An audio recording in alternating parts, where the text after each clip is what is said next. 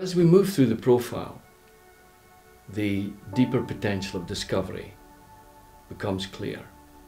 When we get to the page, for example, on difficult person, the shadow personality, those individuals that I might be working with and have never liked, the realization that actually what I don't like in them is what I don't like in me because it's my shadow. That's a huge awareness.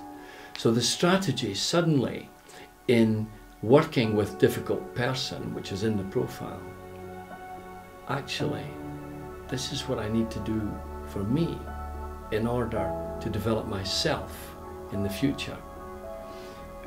That part of the profile, plus the last pages on the suggestion for development, is immense.